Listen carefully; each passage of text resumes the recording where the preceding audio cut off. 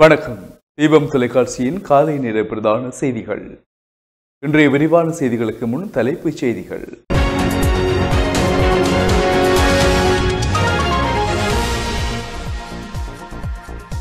கிளிநொச்சி ஜாழ்ப்பாணம் ஊடாக நகர்கிறது புரவி புயல். ஜாழ்ப்பாணத்தில் இருநூறு மில்லி மீட்டருக்கும் அதிக மழை கொட்டியது. புரவி புயலினால் ஒரு லட்சம் வரையான மக்கள் பாதிப்பு. பெருமளவு வீடுகள் சேதம். ஜாழ் மாவட்டத்தில் புரவியின் தாக்கத்தினால் மூவரை காணவில்லை. ஏழு பேர் வரை காயம். இயக்கச்சியில் வெடிபொருட்களுடன் நான்கு பேர் கைது. நேற்று மட்டும் எண்ணூற்றி எழுபத்தி எட்டு பேருக்கு கொரோனா தொற்று. புரவி புயல் முன்னெச்சரிக்கை நடவடிக்கை குறித்து தமிழக முதல்வருடன் இந்திய பிரதமர் ஆலோசனை. குற்றவாளிகள் குழுவினால் குறிவைக்கப்படலாம் பைசர் கொரோனா தடுப்பூசி இன்டர்போல் எச்சரிக்கை. ஆஸ்திரேலியா அணிக்கு எதிரான மூன்றாவது ஒருநாள் போட்டியில் இந்தியா வெற்றி. தமிழக வீரர் நடராஜனுக்கு பாராட்டு.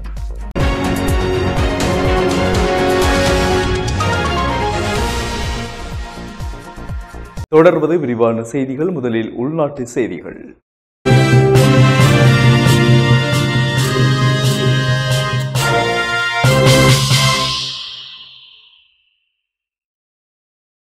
வங்கக்கடலில் உருவாகிய பிறவி புயல் திருகோணமலை முல்லைத்தீவு கிளிநொச்சி யாழ்ப்பாணம் மாவட்டங்களுக்கு ஊடாக கரையை கடந்து கொண்டிருப்பதாக தகவல்கள் கூறுகின்றன.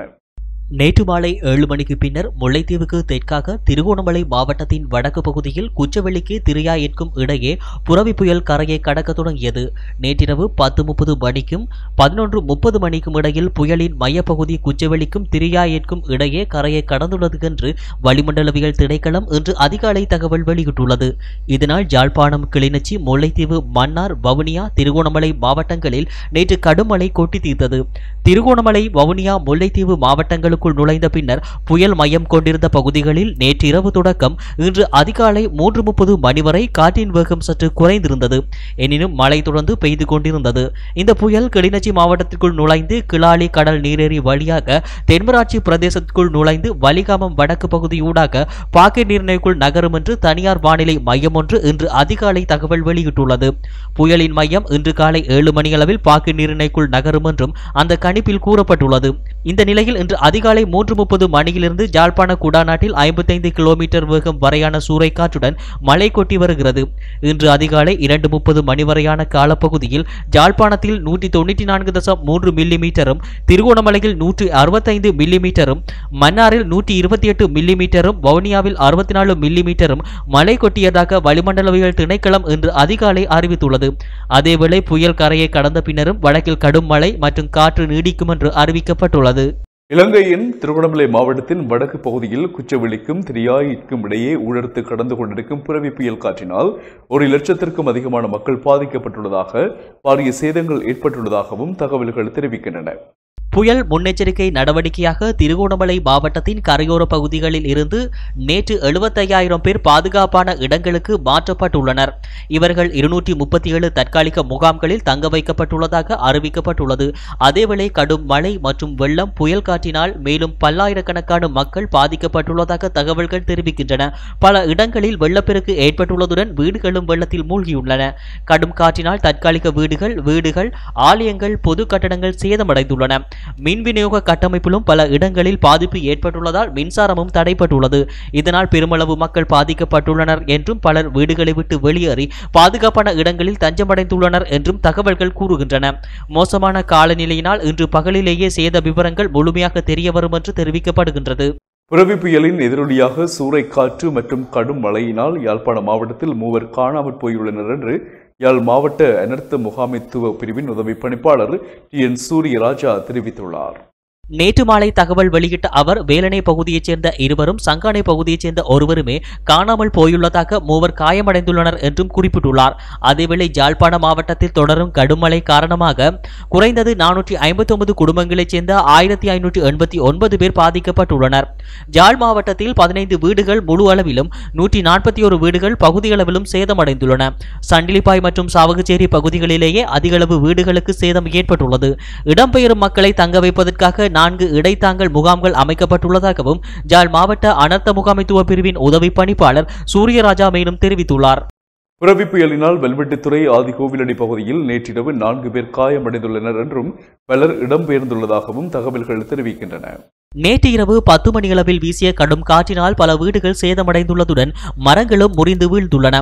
இதனால் சிறுமி உட்பட நான்கு பேர் படுகாயமடைந்துள்ளனர். காயமடைந்த மூவர் வல்வெட்டத்துறை ஊரணி மருத்துவமனையில் அனுமதிக்கப்பட்டுள்ளனர் என்றும் ஒருவர் பருத்துத்துறை ஆதார மருத்துவமனைக்கு அனுப்பி வைக்கப்பட்டுள்ளார் என்றும் கூறப்படுகிறது. இந்த புயல் காற்றினால் பாதிக்கப்பட்ட ஐம்பது குடும்பங்கள் அங்கிருந்து வெளியேறி ஆலய மண்டபம் ஒன்றில் தஞ்சமடைந்துள்ளனர். அதேவேளை முன்னதாக வல்வெட்டுத்துறை பகுதியில் கரையோர பகுதிகளில் வாழும் மக்களை பாதுகாப்பான இடங்களுக்கு செல்லுமாறு உடுப்பிட்டி மகளிர் கல்லூரி கல்லூரியில் தற்காலிக தங்குமிட வசதி செய்து கொடுக்கப்பட்டுள்ளதாகவும் அறிவிக்கப்பட்டிருந்தமை குறிப்பிடத்தக்கது. பிறவி புயலின் காரணமாக முல்லைத்தீவு மாவட்டத்தில் பெருமளவு பாதிப்புகள் ஏற்பட்டுள்ளதாக முதற்கட்ட தகவல்கள் கூறுகின்றன.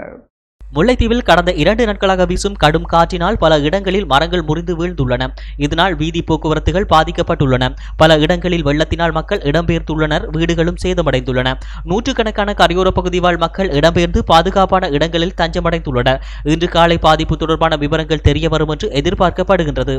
பிறவி புயலின் தாக்கத்தினால் கிளிநொச்சி கரைச்சி பிரதேச செயலாளர் பிரிவில் பத்து குடும்பங்களைச் சேர்ந்த நாற்பத்தொரு பேர் பாதிக்கப்பட்டுள்ளதாக மாவட்ட இடர் முகாமைத்துவ நிலையம் தெரிவித்துள்ளது.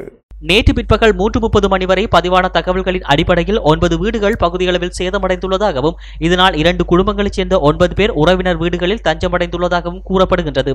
கிளிநொச்சி கோணாவில் பகுதியில் பலத்த காற்றினால் பயன் மரங்கள் முறிந்ததுடன் வீடுகளுக்கும் சேதம் ஏற்பட்டுள்ளதாக கூறப்படுகிறது. நேற்று மாலைக்கு பின்னர் கடும் மழை மற்றும் புயல் காற்றினால் பெரிய அளவில் பாதிப்புகள் ஏற்பட்டுள்ளதாக கூறப்படுகின்ற போதும் விரிவான தகவல்கள் இன்னமும் கிடைக்கவில்லை. பிறவி புயலின் தாக்கத்தினால் மன்னார் விடத்தல் தீவு கிராமத்திற்குள் கடல் நீர் உட்புகுந்ததால் பலர் பாதிக்கப்பட்டுள்ளனர். தொடர்ந்து பெய்து வரும் மழை மற்றும் கடுமையான கடல் கொந்தளிப்பினால் விடத்தல் தீவு கிராமத்திற்குள் பல வீடுகளுக்குள் கடல் நீர் புகுந்துள்ளது. இதனால் பலர் தமது வீடுகளை விட்டு வெளியேறி பாதுகாப்பான இடங்களுக்கு சென்றுள்ளனர்.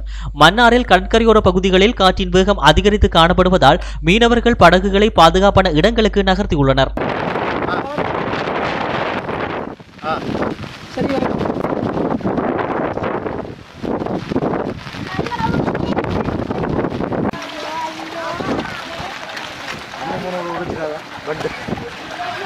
உடஞ்சா என்ன செய்யறேன் இதாவுக்கு என்ன காத்துக்கிட்டாங்க அதுக்கு வடக்கு மாகாணத்தில் கடந்த சில நாட்களாக கொட்டி தீர்க்கும் கடும் மழையினால் கிளிநொச்சி மாவட்டத்தில் குளங்களின் நீர்மட்டம் வேகமாக அதிகரித்து வருவதனால் பொதுமக்களுக்கு எச்சரிக்கை விடுக்கப்பட்டுள்ளது. கிளிநொச்சி குளங்களில் நேற்று இரவு பத்து மணியளவில் எடுக்கப்பட்ட நீர்மட்ட கணிப்பீடுகளின் அடிப்படையில் சில குளங்கள் இன்று வான்பாயும் என எதிர்பார்க்கப்படுவதாக நீர்ப்பாசன திணைக்களம் தெரிவித்துள்ளது.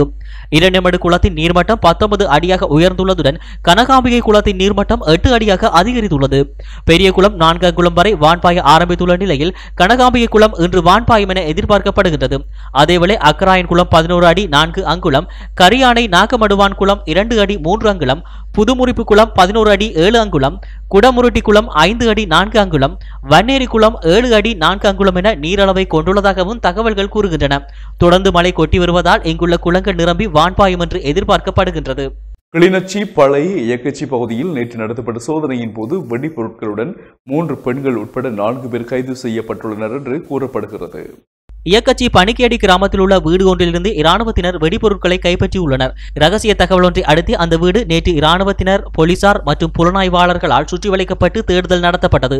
பல மணி நேரமாக நீடித்த தேடுதலின் போது துப்பாக்கி ரவைகள் கைக்குண்டுகள் கிளைமர் குண்டு உள்ளிட்ட வெடிபொருட்கள் மீட்கப்பட்டுள்ளன. இதன்போது நான்கு பேர் கைது செய்யப்பட்டுள்ளனர். இவர்கள் இன்று கிளிநொச்சி மாவட்ட நீதிமன்றில் முன்னிலைப்படுத்தப்படுவார்கள் என்று கூறப்படுகிறது. பொன்னாலையில் கடலுக்கு சென்ற மீனவர் ஒருவர் காணாமல் போயுள்ளார் என்று கூறப்படுகிறது.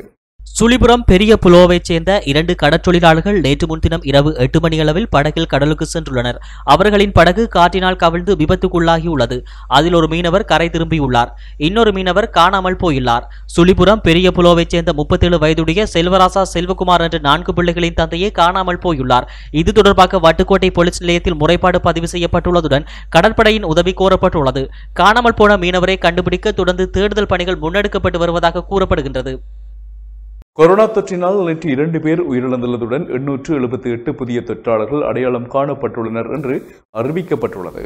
கொரோனா தொற்றினால் பாதிக்கப்பட்ட மேலும் சிலாபம் மற்றும் கொழும்பு பகுதிகளைச் சேர்ந்த இரண்டு பேரே நேற்று உயிரிழந்தனர். இதையடுத்து கொரோனா தொற்றினால் இலங்கையில் உயிரிழந்தவர்களின் எண்ணிக்கை நூற்றி இருபத்தி நான்காக அதிகரித்துள்ளது. அதேவேளை மகர சிறைச்சாலையில் இடம்பெற்ற கலவரங்களின் போது போலீசாரின் துப்பாக்கிச் சூட்டில் கொல்லப்பட்ட பதினோரு பேரில் ஒன்பது பேருக்கு கொரோனா தொற்று இருந்து உறுதி செய்யப்பட்டுள்ளது. எனினும் இவர்கள் தொற்றினால் உயிரிழந்தவர்களின் பட்டியலில் சேர்த்துக் கொள்ளப்படவில்லை என்பது குறிப்பிடத்தக்கது. அதேவேளை சுகாதார அமைச்சின் தொற்று நோயல் பிரிவினால் நேற்றிரவு பத்து முப்பது மணியளவில் வெளியிடப்பட்ட தகவல்களின்படி நேற்று மட்டும் எண்ணூற்றி எழுபத்தி எட்டு புதிய தொற்றாளர்கள் அடையாளம் காணப்பட்டுள்ளனர். இவர்கள் அனைவரும் பேலியகுட கொத்தானியைச் சேர்ந்தவர்கள் என்று அறிவிக்கப்பட்டுள்ளது. இதையடுத்து இலங்கையில் இனங்காணப்பட்ட தொற்றாளர்களின் எண்ணிக்கை இருபத்தையாயிரத்தி நானூற்றி பத்தாக அதிகரித்துள்ளது. தற்போது ஆறாயிரத்தி தொள்ளாயிரத்தி எண்பத்தி இரண்டு தொற்றாளர்கள் மருத்துவமனைகளில் சிகிச்சை பெற்று வருகின்றனர் என்றும் அறிவிக்கப்பட்டுள்ளது. புரவி புயலை எதிர்கொள்வதற்கான அனைத்து ஏற்பாடுகளும் தயார்படுத்தப்பட்டுள்ளதாக நீர்ப்பாசன அமைச்சரும் பாதுகாப்பு அனர்த்த முகாமைத்துவ ராஜாங்க அமைச்சருமான சமல் ராஜபக்ஷ தெரிவித்துள்ளார். நாடாளுமன்றத்தில் நேற்று சிறப்பு அறிவிப்பை வெளியிட்டபோது அவர் இவ்வாறு கூறியுள்ளார். இந்த புயலினால் வடக்கு கிழக்கில் உள்ள மாவட்டங்களும் புத்தளம் மாவட்டமும் பாதிக்கப்படக்கூடும் என்று அவர் தெரிவித்துள்ளார். இந்த மாவட்டங்களில் மக்களை எச்சரித்து போதிய தயார்படுத்தல்களை மேற்கொள்ளுமாறு அறிவிக்கப்பட்டுள்ளதாகவும் பாதிக்கப்படும் பிரதேசங்களில் இருபத்தி நான்கு மணித்தளங்களுக்குள் உட்கட்டமைப்பு வசதிகளை மீளமைக்க நடவடிக்கை எடுக்கப்பட்டுள்ளதாகவும் அமைச்சர் சபல் ராஜபக்ச தெரிவித்துள்ளார். புயலினால் பாதிக்கப்படும் மக்களுக்கு உணவு மற்றும் ஏனைய அத்தியாவசிய பொருட்களை விநியோகிக்க பத்து லட்சம் ரூபாய் மாவட்ட செயலகங்களுக்கு ஒதுக்கப்பட்டுள்ளதாகவும் அவர் தெரிவித்துள்ளார். விளம்பர இடைவெளியை தொடர்ந்து வெளிநாட்டு செய்திகள் தொடரும்.